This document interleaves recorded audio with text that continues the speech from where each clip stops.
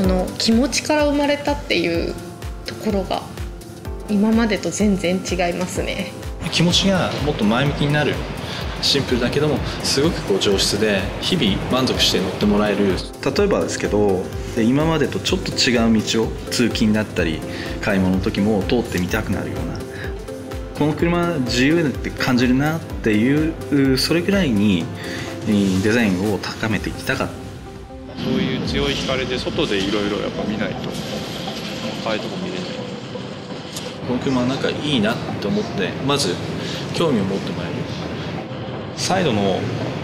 シルエットで佇んでる時にとにかく美しいベゼルっていうのを作りたかったですね。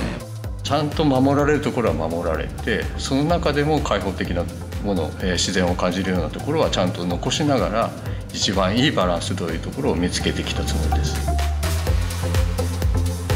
本当に大きなテーマだったのでそこにはかなりこだわりを持って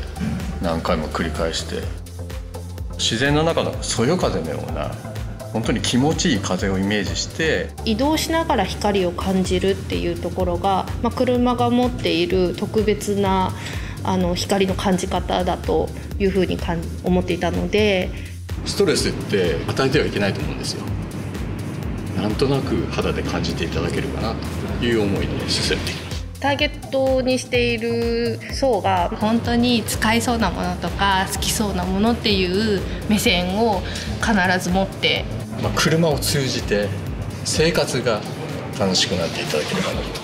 今あるライフスタイルに寄り添ってあのさらに気持ちが上がってもらってその人の好きがどんどん広がっていくっていうのがまさに実現できるんじゃないかなと思います。